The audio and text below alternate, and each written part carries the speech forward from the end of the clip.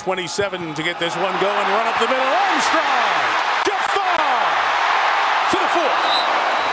He hands off, and it's another touchdown. It's Jafar Armstrong.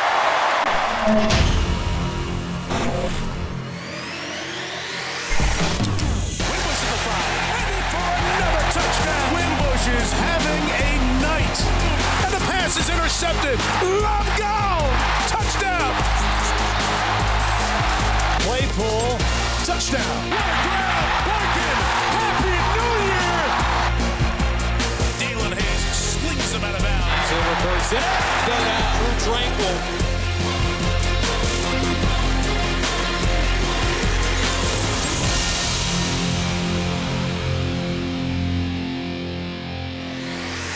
Welcome to Inside Notre Dame Football, brought to you by TireRack.com. Along with former Irish quarterback Evan Sharpley, I'm Darren Pritchett. Game two on the Irish schedule, Notre Dame held on to beat Ball State 24 to 16 to improve to 2 0. Evan, offensively, even though the Irish only scored 10 points in the second half, they made some adjustments to give themselves a better chance to have success. Ball State had a great game plan early on. A lot of pressures early. Um, offensive line needed to adjust. In the second half, what you saw was more play action, more design runs for Brandon Wimbush, um, which, when executed, they had some success. What was your takeaway from the Irish defense's performance? I think once again, when you look at this Irish defense, uh, a bend but don't break mentality. Um, e- even though Ball State had a great game plan to try to keep uh, uh, thwarting some of the pressures that Notre Dame was uh, throwing at them early on, you only give up 13 points. It's a pretty good game. You're a former Irish player. You've been through the moments where you have a big win over a rival, and then we in the media always talk about, well, there's a letdown sometimes. Was the letdown a part of the storyline today? Uh, certainly. Uh, you know, any anytime you know you're, you play a, a, rival like Michigan uh, a week prior, Notre Dame Stadium was packed. Uh, a little bit of a different environment today. To come out with a win is is is big, uh, but certainly the letdown was obvious. The Irish win by eight. Let's go to the first half highlights. It's Notre Dame and Ball State, the first ever meeting. First offensive possession, the Irish got rolling. Jafar Armstrong up the middle for 42 yards to get inside the Ball State five yard line. Couple of plays later, Armstrong scored his third touchdown of the year. Look at Alex Bars right here, hedging off. Jafar Armstrong be able to get up uh, north and south and scores another touchdown. 7 0 Irish, 13.06 to go in the first quarter. Ball State put together a 19 play, 85 yard drive. Morgan Hagee, a 25 yard field goal to cut the Irish lead down to 7 to 3. Then Jerry Tillery with some pressure, and Te'von Coney finishes off Riley Neal. This front seven's been fantastic so far early in the year, these two games, and continue to pressure quarterbacks. The Irish back on offense. Brandon Wimbush stayed in the pocket and found Chase Claypool for a 23 yard reception on fourth down and eight. That set up a 43 yard field goal try by Justin Yoon that was no good, and the Irish had a 7 3 lead in the second quarter. Wimbush then to Armstrong down the right sideline for 23 yards to the Notre Dame 41. Then Armstrong again for 38 yards to the Ball State 35. Yeah, the, the, former high school receiver here, it looked like the Notre Dame coaching staff saw something with this Ball State defense and able to take advantage of some soft coverage. But the Cardinals defense holds as Wimbush could not connect on fourth yeah, and eight. Not sure what happened right here. Obviously holding on to the ball a little bit too long. Looked like a little miscommunication between the two receivers. But the Irish defense got the ball back. A deflection by Nick Coleman and an interception by Jalen Elliott. He took the ball down to the Cardinal 31. Next play, Tony Jones Jr. 31-yard touchdown run. The Irish led 14 to 3. Great job by the offensive line, even though they weren't doing a great job protecting the quarterback. Awesome on the ground here. Tony Jones breaks a couple of tackles and finds the end zone. So the Fighting Irish with 8:14 to go in the second led 14 to 3. Ball State picks up 3 points off an Irish turnover. It was 14 to 6 Notre Dame with 2:30 to go in the second quarter. That would be the halftime score. And Evan, here's a look at the first half stats. Let's look at third down conversions here for the Notre Dame offense. You know, if you're if you're looking at you look at turnovers, you look at third down uh, efficiency, and then you also look at red zone scoring. Notre Dame's offense wasn't able to get it done on that money down. Defensively, they did a pretty good job getting off the field got to be able to cash in on those money downs. Halftime score was Notre Dame 14 and Ball State 6. We'll take a look at the second half highlights coming up in just a moment. This is Inside Notre Dame Football brought to you by TireRack.com. Inside Notre Dame Football is presented by TireRack.com and brought to you by Team Notre Dame partners, Coca-Cola, Under Armour, and Gatorade. Inside Notre Dame football is also brought to you by Vivid Seats, Canon, Xfinity, Nissan, Notre Dame Federal Credit Union, and SiriusXM.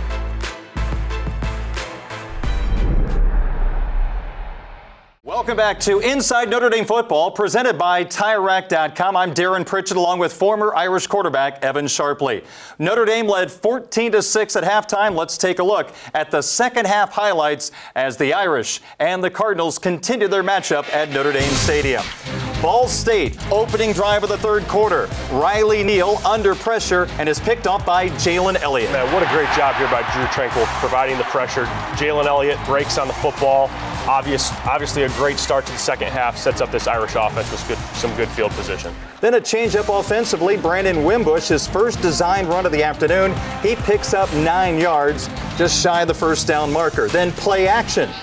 Wimbush rolling to his right finds Miles Boykin for 14 yards to the Ball State 30. We mentioned the shift here in play call start the second half. Some more design runs, more play action, getting Brandon Wimbush on the move and making some throws. And Tony Jones Jr. scored from one yard out. 10.37 to go, third quarter. Notre Dame 21, Ball State 6. Then Wimbush finds Boykin once again, this time for 18 yards to the Ball State 44. Once again, more play action. You're able to freeze that second line defense. Also make sure that you're you're not allowing that the edge rushers to get upfield. Great completion here. The Irish pushed the lead to 18 points as Yoon connected a 46 yard field goal. 2.01 to go, third quarter. Notre Dame 24, Ball State 6. We now move to the fourth quarter at Notre Dame Stadium. Ball State puts together a 13 play drive. Riley Neal to Nolan Given, a 10 yard touchdown strike. And with 12.01 to go in the fourth quarter, it was Notre Dame 24, Ball State 13.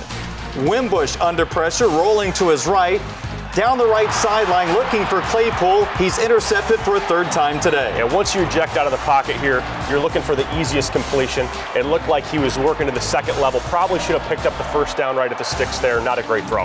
But no harm done as Hagee misses from 46 yards out. The lead was still 11. Later on in the fourth quarter, Hagee connects from 46 yards, and it's 24 to 16 with 130 to go. Ball State goes for the onside kick, and Drew Tranquill with the good hands takes care of the kickoff, takes a hit, and that secures Notre Dame's 24-16 victory over the Ball State Cardinals. Notre Dame a 2-0 football team. And as we look at the final stats, 414 yards of total offense for Notre Dame. Yeah, Ball State did a great job of possessing the football. Notre Dame's defense was on the field for a long time. Again, you look at third down conversion rates on both sides. Uh, it, was, it was a pretty good night for the Irish defense. Offensively, um, I think the biggest thing for me was a lack of execution. You had opportunities to make plays, just couldn't cash in. Final score Notre Dame 24 and Ball State 16. This is Inside Notre Dame Football presented by TireRack.com. We are in Coach Kelly's office in the Notre Dame locker room right after Notre Dame's victory over Ball State. You told this team all week that this would not be an easy game, that it was not easy to win in college football. Mm-hmm. And I know you're not surprised that Ball State came out and played as well as they did. Your team had to make big plays to win this game. We did. We had to come up with two interceptions, you know, a couple of stops. Uh, defensively, I thought we had to play pretty good, which we did. I mean, you know, obviously uh, we'd like a play back here or there, but uh, we just didn't keep up with the standards that we've set here in our program. And uh, you know, give credit to Ball State too, though. I mean, they played really well. I I thought Riley Neal was a heck of a quarterback, and he showed me that he is, and made some great plays, kept plays alive, and. I think defensively was the big surprise. How effective they were. Um, we were we were not very effective in, in a lot of things that we wanted to do offensively. You just spoke to this team. You began your speech by saying, "Hey, we didn't play up to our level, and that is my fault. It's the coach's fault. And you reiterated that and told them to enjoy it, but you also told them they've got to be better next week. Well, I got to prepare them better. Obviously, that uh, when you come out and you don't play at the same level that you played the week before, that falls a lot on coaching. So, but uh, the players have to come up with an emotional kind of uh, charge too. You know, this game is not it's not chess. You know, you've got to have um, you know some emotional you know charge in you when you go out and play. And, and I don't know if we had that same charge. And so, again, making sure that we respect all of our opponents that we play them. That you know that falls on me too. Turnovers, some struggles in the kicking game put your defense in a number of tough positions again, and they came through again, not giving up a touchdown till the fourth quarter. Yeah, I, I, you know, I don't think the kicking game really concerned me that much, as much as um, you know, we just were ineffective early on finishing off drives. I mean, we had you know a drop ball here, or we didn't have a you know a clean you know reception here, or you know we didn't pick somebody up. It, it was really not finishing off drives in the first half, and you know, as I told them, that kept Ball State you know confident and kept them around. And part of that was I know you hoped and expected your offensive line to take control of the game more than they did. That made Brandon throw and he ended up with a career high 297 yards, but he did have the three picks.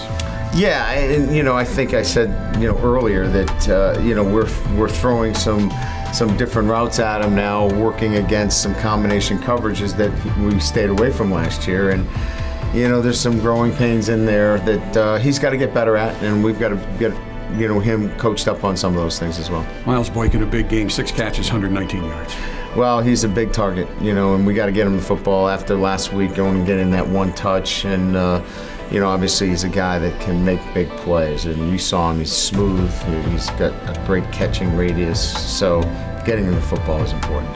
The most important drive in this game may have been the first one. You came out with two big plays to set up an early score. Where did that go, right? I mean, you know, we looked pretty good coming out of the gates, and then you know, we just couldn't sustain things. Again, a lot of that's going to start on the offensive line, and we, you know, for the credit that they got in week one, they should get a lot of the um, the concern in week two. We got to go back to the drawing board, take a look at some things, and uh, we got to clean some things up. You expected better safety play this year, and you are getting it. Mm-hmm. Jalen Elliott gets the yeah. game ball, two picks, both of which you turned into touchdowns. Yeah, we did. I mean, I think our defense was opportunistic. Um, you know, there was a little bit of a bend don't break uh, going on there.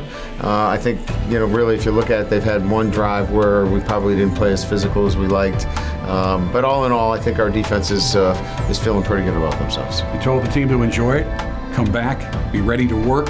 You're playing the same basic defensive yeah. scheme next week, but with SEC talent. Yeah, they're they're not uh, they're not Mid American Conference players, and I love Mid American Conference players, especially if they play like that. Uh, but they're SEC players, and and this is going to be a challenge.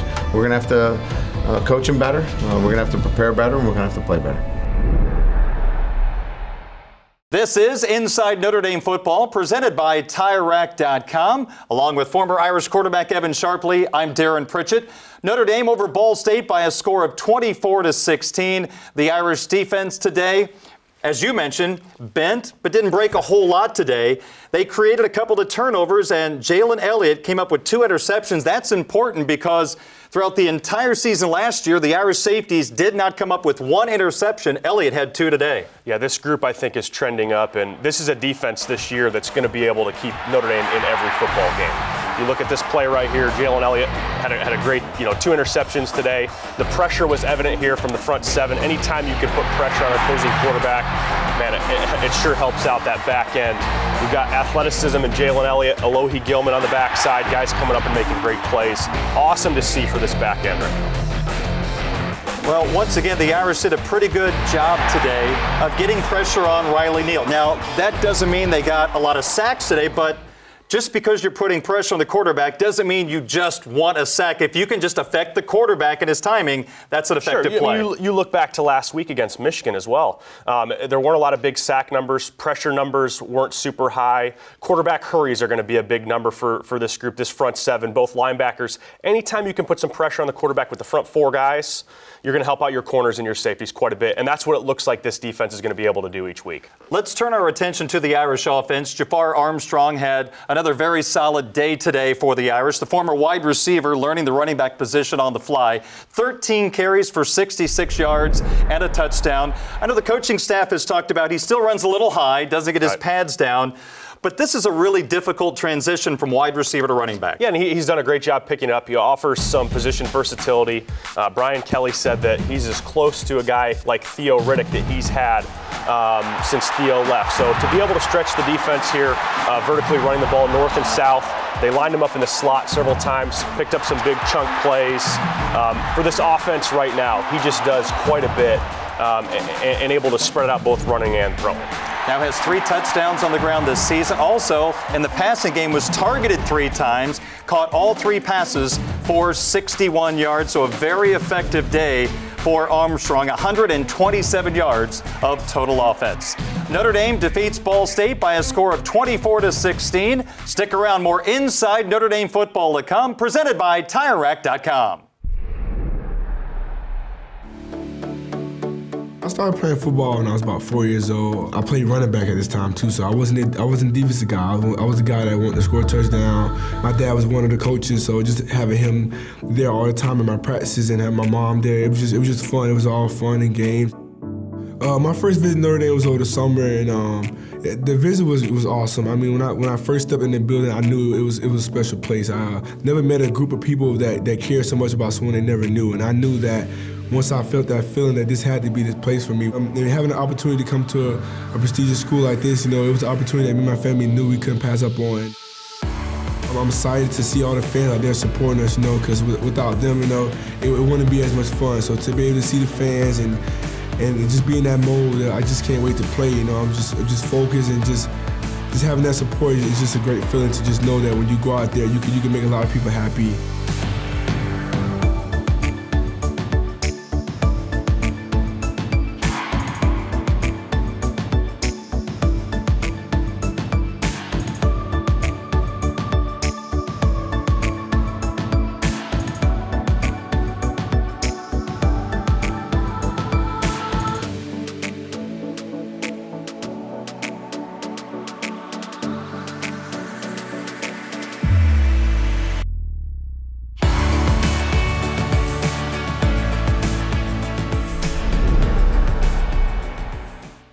Time for the Notre Dame Ticket Exchange powered by Vivid Seats Play of the Week.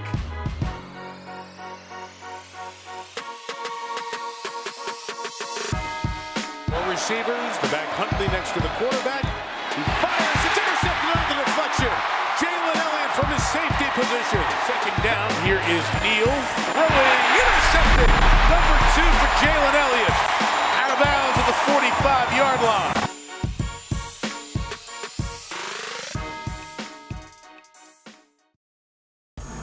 It's time for the Tire Rack question of the week. This week's question comes to us from Carol from Delaware. She asks which freshmen have made the most progress since the Blue Gold game. I would probably say Jayson Ademilola. You know, for him to get in as a defensive tackle, um, where you know he wasn't a mid-year, I think he's done a really nice job. The Fighting Irish are 2 0. They're getting set to take on 2 0 Vanderbilt. The Commodores from the SEC beat Middle Tennessee State in their opener 35 7, and then they beat Nevada in week two 41 10. Kyle Shurmur is the quarterback. He is the son of New York Giants head coach Pat Shurmur. But this week I have a feeling, yeah, Vanderbilt's the opponent. But in practice for Notre Dame, it's going to be all about Notre Dame. Yeah, it's, it's going to be less about the opponent that's going to come in and, and, and making some of these changes that Brian Kelly highlighted and that we've talked about. Uh, offensively, making sure that everything's clicking on the offensive line. Um, defensively, it really, for me, is, is rinse and repeat. The game plan, that they've done a great job executing. Are there some plays that they want to make, continue to improve in tackling better? Um, but I thought that, that, the defense has continued to execute at, at, a high level. This is a championship defense right here. Uh, they've got a great attitude. Um, um, uh, and I think that they're going to be able to keep Notre Dame in football games if the offense isn't playing as they expect. And if this was a letdown week, then I would have to think this team's going to be extra motivated when Vanderbilt comes to Notre Dame Stadium next Saturday. Well, the Fighting Irish are 2 0. They beat Ball State today by a final score of 24 to 16.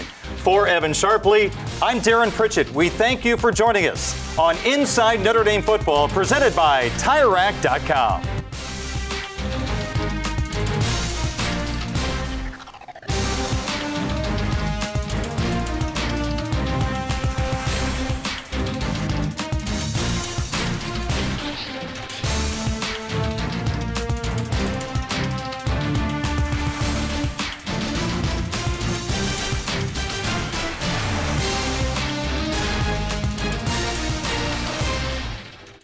Inside Notre Dame Football is presented by TireRack.com and brought to you by Team Notre Dame partners Coca Cola, Under Armour, and Gatorade.